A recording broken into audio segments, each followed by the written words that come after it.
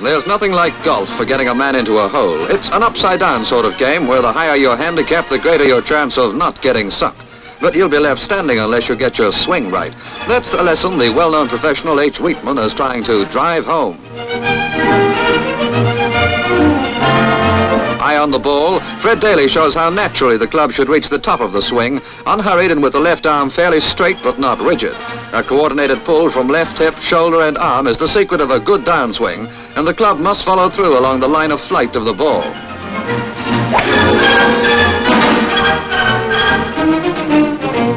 Now the secrets of the overlapping grip with Weetman's hands speaking for themselves. These demonstrations by top-flight professionals were given at Wentworth Club in Surrey, where a one-day clinic was held for all members on the golf disease panel.